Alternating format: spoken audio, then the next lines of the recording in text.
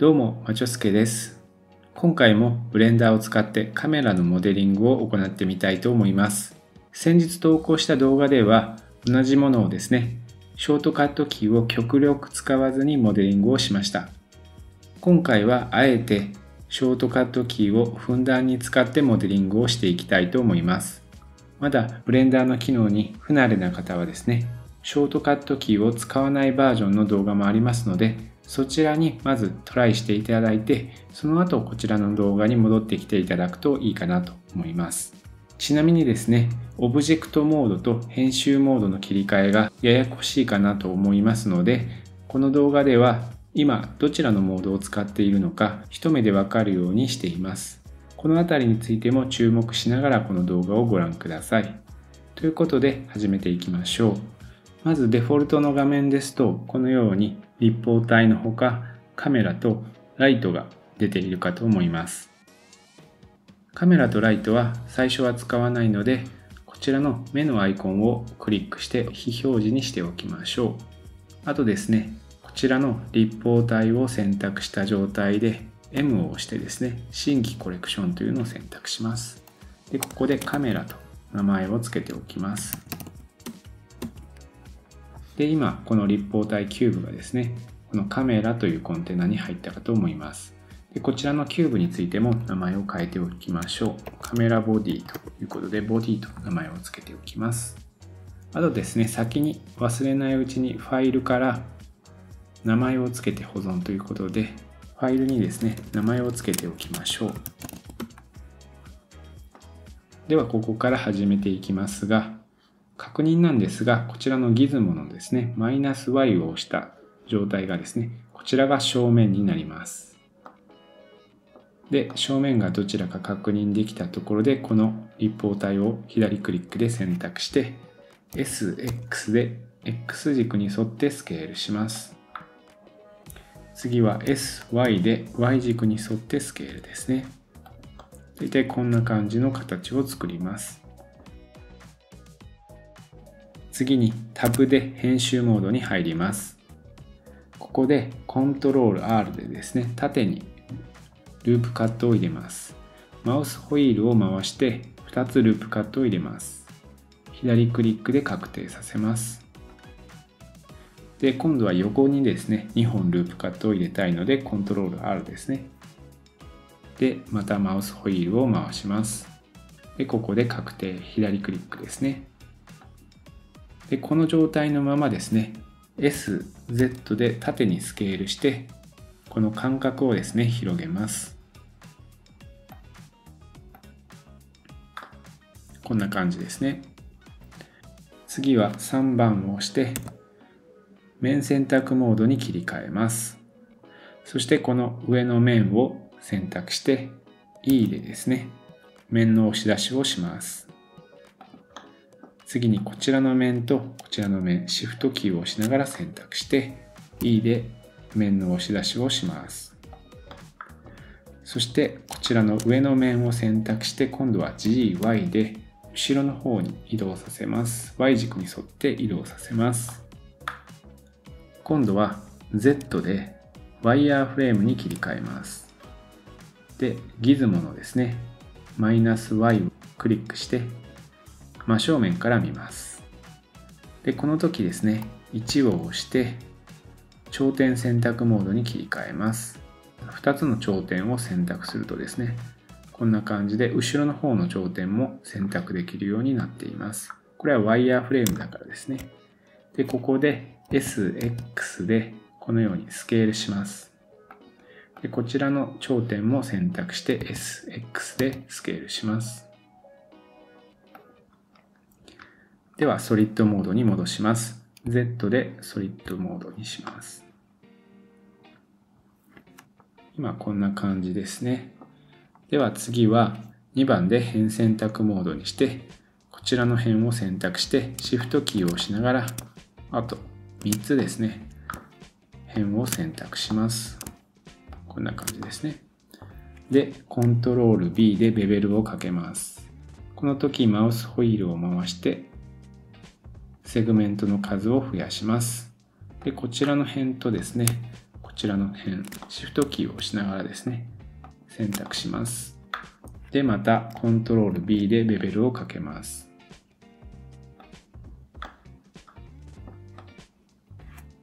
はい、こんな感じですね。で次はですね、3番を押して面選択モードに切り替えて、この辺りをですね、左クリックするんですが、この時、オプションキーもしくはオルトキーを押しながら左クリックすると、ループ選択されます。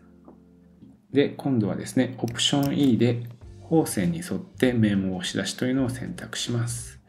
で、ちょっと見てみると、こんな感じでですね、均等ではないですね。ここの出てる部分が。なので、一旦キャンセルします。コントロール Z で戻します。で、タブで一度、オブジェクトモードに戻ります。でここでですね、メニューのオブジェクトから適用、スケールというのを選択します。で、これでもう一度タブでですね、編集モードに入って、オプションもしくは Alt E でですね、方線に沿って面を押し出しというのをします。すると今度は均等にですね、この幅がなったかなと思います。で、2番でですね、辺選択モードに切り替えて、こちらの辺、シフトキーを押しながらですね、この4つの辺をですね、選択します。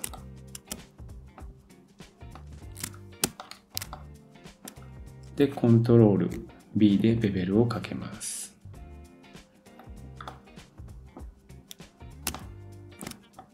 はい、こんな感じですね。で、タブキーでオブジェクトモードに戻ります。ここで右クリックでスムーズシェードをかけて、少し影がおかしいので、こちらのオブジェクトデータプロパティの中のノーマル、自動スムーズにチェックを入れます。次はギズモのマイナス Y を選択して真正面から見ます。ここで Shift A でですね、メッシュ、立方体と選択して S でスケールします。で、これを G でですね、この辺りに持ってきて、もう一度 SX でスケールします。SZ で縦にもスケールしておきましょう。で、今度は GY で前の方に持ってきます。Y 軸に沿ってですね、持ってきます。もうちょっと S でスケールしておきましょうか。GY でこの辺りに持ってきます。で今何をしたいかというと、この立方体を使ってこのカメラのところをですね、くり抜きたいと思います。なので、このカメラのオブジェクトを選択して、こちらのモディファイアプロパティに進んで、ブーリアンモディファイアを選択します。そしてこちらのオブジェクトのところにですね、スポイドのツールがあるので、これを使ってですね、この立方体を選択します。この状態だと何もわからないんですが、今このシーンコレクションの中にあるアウトライナーの中にあるこの立方体というのがこのこれになりますが一旦この目のアイコンをクリックしてオフにしてみますするとこんな感じでですねくり抜かれたかと思いますただですね、この状態でタブキーで編集モードに入るとくり抜かれていないんですね。でこれはモディファイアというのは直接オブジェクトの形を変えているわけではないのでこんな感じになっています。でもう一度タブキーでオブジェクトモードに戻りますがここでこのブーリアンモディファイアを適用します。でタブキーで編集モードに入るとこんな感じでちゃんと切り抜かれて、このオブジェクトメッシュにもですね、編集が加えられたかと思います。もうこちらの立方体は必要ないので、目のアイコンをクリックした後ですね、X で削除しておきましょう。アウトライナーのところからも削除できます。では、タブキーでですね、オブジェクトモードに戻ります。今度はギズモの Z を押して真上からのビューに切り替えましょう。ここで Shift A でメッシュ円柱を追加します。で S でスケールして GX で位置を調整します。真正面から見ましょう。ギズモのマイナス y で、でここで gz で上の方に持ってきます。sz でスケールして、gz でもう一度上の方に持ってきます。で今度はですね、ここでタブキーで編集モードに切り替えます。今、変選択モードになっているので、このままですね、オプションキーもしくはオルトキーを押しながら左クリックをして、こんな感じでループ選択をします。ここでコントロール B でベベルをかけます。で、マウスホイールを回してベベルの数を調整します。左クリックで確定させます。で、タブキーでですね、オブジェクトモードに戻ってここで右クリックでスムーズシェード。で、オブジェクトデータプロパティの中のノーマル、自動スムーズにチェックを入れます。ではもう一つ、ここにボタンを作りたいので、ギズモの Z を押して真上からの視点に切り替えます。Shift A、メッシュの円柱ですね。で、S でスケールします。GX で右の方に持ってきます。で、正面からの時点に切り替えるので、マイナス y ですね。ギズモのマイナス y をクリックします。で、gz で上の方に上げてきて、sz でサイズを調整します。gz で位置も調整しましょう。ここでですね、タブキーで編集モードに切り替えます。今度は3でですね、面選択モードに切り替えて、この上の面を選択します。ここで X で面の削除を行います。で、2で変選択モードに切り替えて、オプションもしくはオルトキーを押しながらこの辺りをクリックしてループ選択します。で、ここで ES でスケールします。で、EZ で上の方に上げてきて、ここで F で埋めます。ここの面を埋めます。で、今、変選択モードになっていますので、このままコントロール B でベベルをかけます。で、マウスホイールは回して調整します。左クリックで確定させます。で、タブキーでですね、オブジェクトモードに戻って、右クリックでスムーズシェード、オブジェクトデータプロパティのノーマル、自動スムーズにチェックを入れます。これでボタンができました。で、こちらのボタンがですね、円柱001で、こちらのボタンはアウトライナーで言うと円柱ですね。で、この2つのボタンとカメラを統合したいと思います。でカメラのボディを残したいので、先にこのボタンを2つ選択します。シフトを押しながら選択して、最後にこのカメラを選択して、ここでコントロール J で統合します。で、今見ていただくと、先ほどあった円柱というのが消えたので、このボディの中にですね、統合されたかと思います。これでカメラのボディは出来上がりました。では次はカメラのレンズ部分を作っていきましょう。まず Shift A でメッシュ、円柱を選択します。R、X、90と打って X 軸に沿って回転させます。で、S、Y でスケールします。で、G、Y で前の方に持ってきます。で、真正面から見たいので、ギズモのマイナス y を選択します。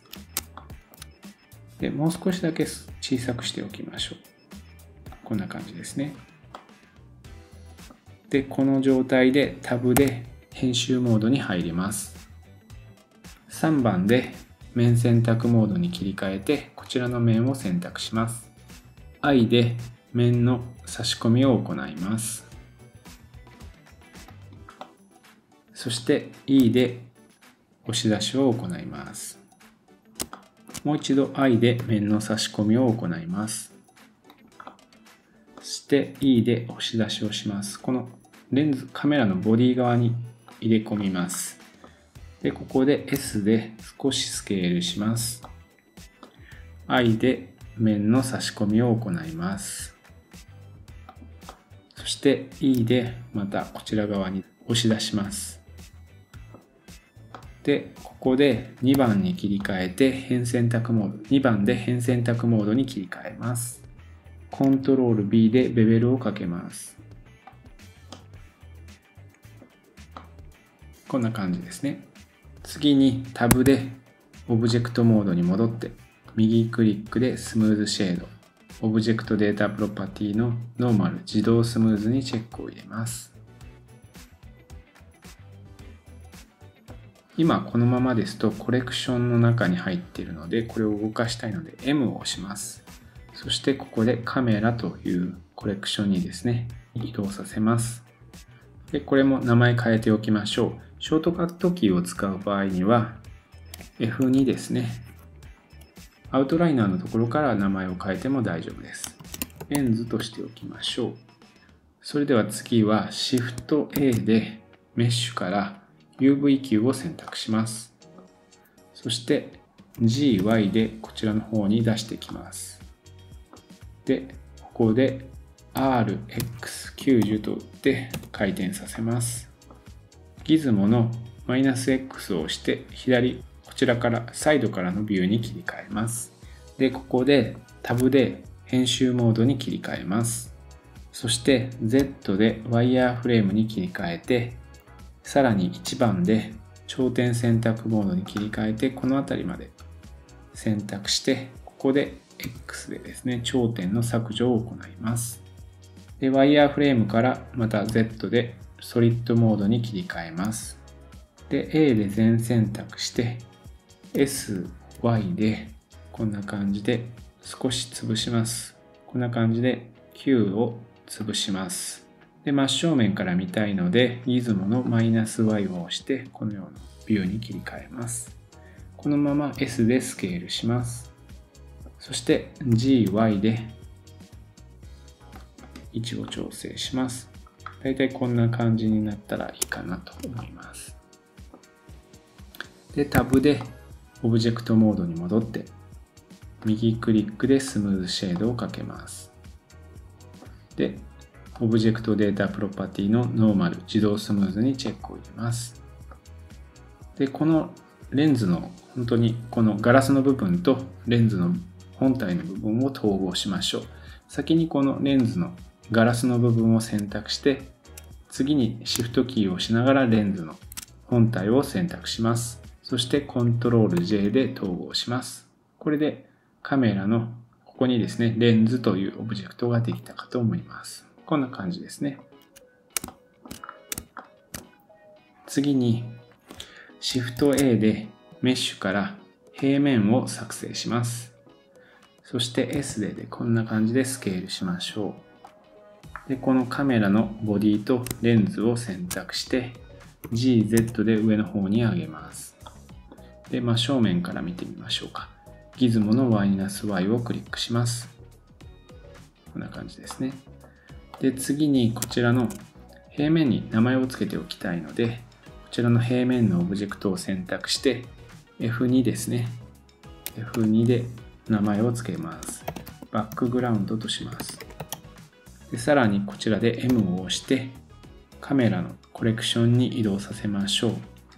次はですね、こちらのバックグラウンド、平面を選択してタブキーで編集モードに切り替えます。2番で辺選択モードにしてこちらの辺を選択します。そして E でこんな感じで押し上げます。EZ ですね。次にこちらの辺を選択してコントロール B でベベルをかけます。でマウスホイールを回してセグメントベベルの数を増やします。左クリックで確定します。タブキーでオブジェクトモードに戻って右クリックでスムーズシェード。で、オブジェクトデータプロパティのところからノーマル自動スムーズにチェックを入れます。それでは次はですね、ここにカメラの設置とライティングを行っていきたいと思います。コレクションの中にあるカメラとライトの目のアイコンをオンにします。で N でですね右のメニューを出してここのビューのタブに移動してのカメラをビューにロックというのにチェックを入れますそしてこちらのカメラのアイコンをクリックしてこんな感じでですねカメラの位置を調整します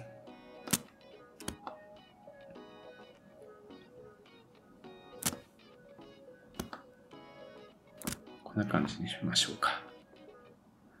では、こちらのチェックは外します。N でメニューを片付けておきます。次にですね、こちらのライトを選択して、オブジェクトデータプロパティのこのライトのアイコンですね、からこれをエリアに切り替えます。そしてこのライトを選択して G でですね、位置を調整していきます。ちょっと見づらいので、この辺りにマウスカーソルを合わせて左の方にドラッグしていきます。そしてこちらのメニューはですね、Z でレンダービューに切り替えます。で、これを見ながらですね、ライトの位置を調整していきましょう。X で真横から見ます。で、G でですね、ライトを調整します。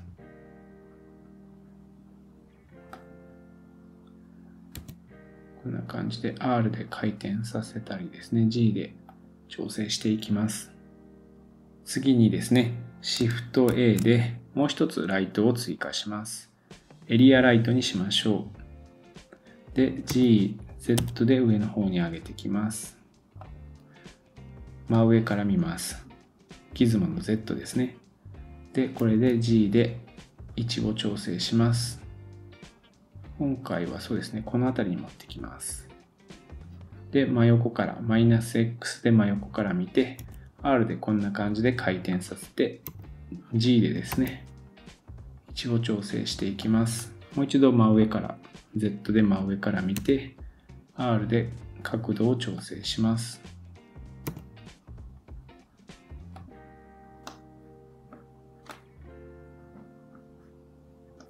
S でスケールもしておきましょう。こちらも S でスケールですね。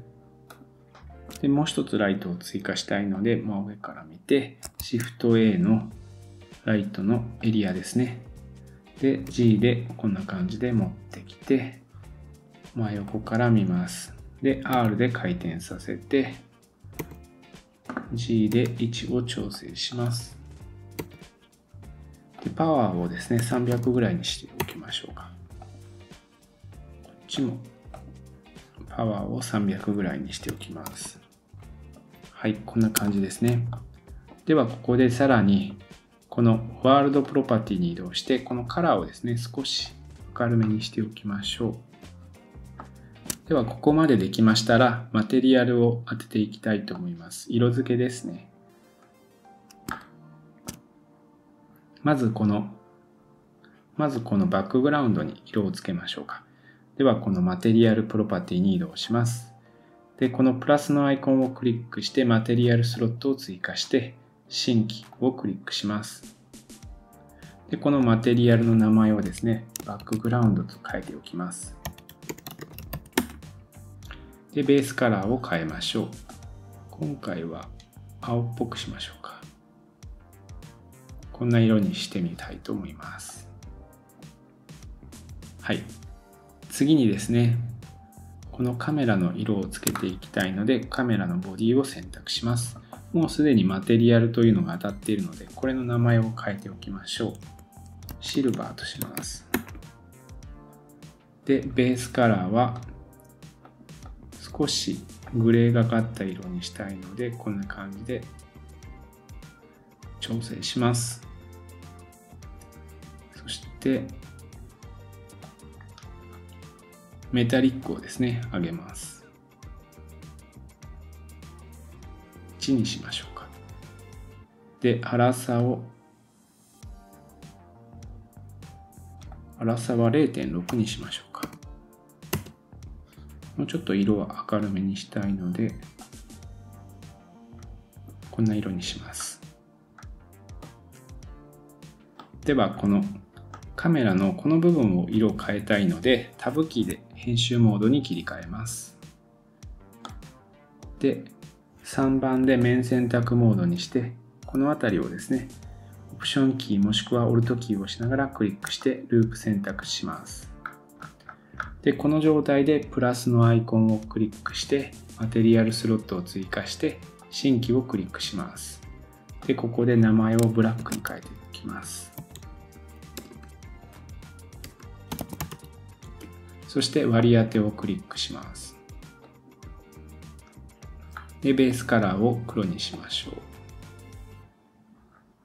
そして、メタリックは0でいいので、スペキュラーを下げて0.2にしましょうか。で、粗さを0.7にします。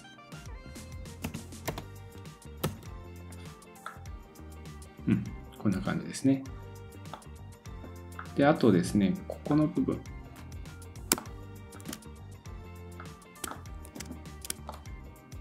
ちょっと分かりづらいですが、この部分を選択して、シフトキーを押しながらこの上とか周りを選択します。で、ここにもですね、ブラックを割り当てておきましょう。割り当てをクリックします。あと、ここですね。この面は違う色にしたいので、グラスを押して新規をクリックします。で、マテリアルの名前をライトシルバーとしておきましょう。で、割り当てをクリックします。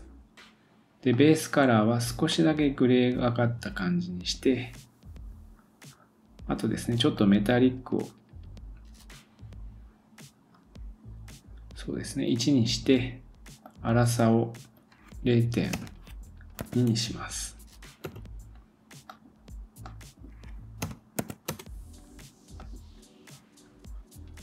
はい、こんな感じですね。ではですね、タブキーでオブジェクトモードに戻ります。今度はこのレンズですね。レンズにも割り当てたいので、ここで今度はこの地球っぽいマークからシルバーを選択します。で、一旦このガラスの部分だけ外したいので、タブキーで編集モードに切り替えて、ここで L を押します。このレンズのところですね。レンズのところで L を押します。で、H で隠します。で、面選択モードですね。3番で面選択モードにした状態で、こちらの部分を選択して、マテリアルスロットを追加したいので、プラスをクリックして、ここからライトシルバーを選択して割り当てます。そしてこの内側ですね、をループ選択。オプションもしくはオルトキーでループ選択します。で、ここもですね、シフト、ここでもう一個マテリアル、マテリアルスロットを追加して、今度はここでブラックを選択して割り当てをクリックします。とこの辺りもですね、ループ選択してブラックを割り当てておきます。はい。で、ここでオプションもしくは Alt H でこのガラスの部分を戻します。で、今度はここにも割り当てをしたいので、プラスを押して新規ですね。で、マテリアルの名前はグラスとしておきましょう。で、割り当てをクリックします。で、このサーフェスのところに今、普通だとですね、プリンシプル BSDF となっていますが、ここでグラス BSDF に切り替えます。そして IOR をですね、0.85にします。でこのままだとちょっと分かりづらいので、レンダーレンダープロパティに進んで、今 Eevee というのになっているんですが、これを Cycles に切り替えます。ついでなので、このままですね、この最大サンプルを64にしておきます。こうするとレンダーが速くなるので、64にしておきますね。で、デノイズにチェックを入れて、あと、カラーマネージメントのところで、ルックをですね、ハイコントラストにします。で、もう一度マテリアルプロパティに戻って、ここで粗さをですね、調整します。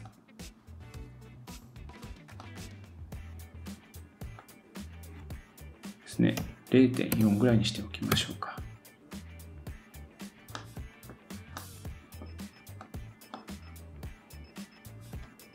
で、カラーもですね、ちょっと変えておきましょう。ちょっと青みがかった感じにするか。そうですね、ちょっとだけ青みがけておきましょうか。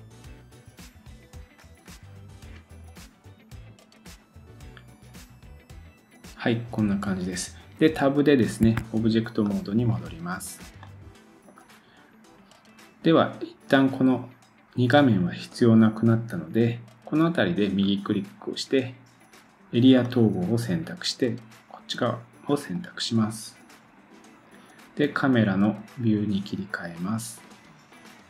ちょっとこのライトが強すぎるので、このライトを選択して、100くらいにしておきましょうか。もう少しですね。では、ここで、このカメラとレンズを選択して、オブジェクトから適用の全トランスフォームというのを選択します。最後にですね、この絵を少し角度をつけてかっこよく見せたいなと思います。R でこんな感じでちょっと傾けます。で、横からも見たいので、X で視点を切り替えて、R でまた少し傾けます。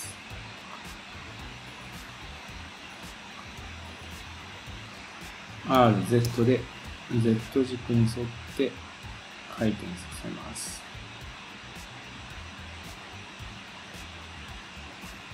はい、こんな感じですね。では、これで書き出しをしましょう。最後にもう一度ですね、カメラのプロパティに行って、焦点距離なんかを調整しましょう。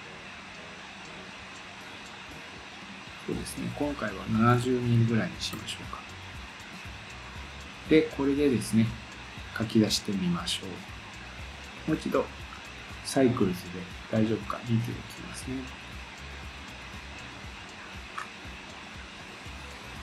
はい。それでは、レンダーの中のアニメで画像をレンダリングを選択します。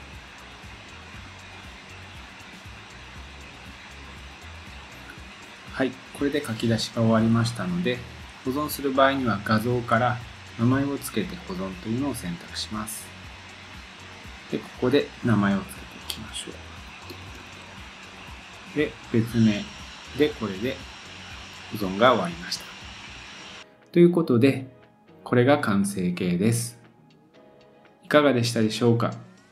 またですね、こんな感じでモデリングの動画を出していきたいと思いますので、まだチャンネル登録をされていない方は、ぜひよろしくお願いします。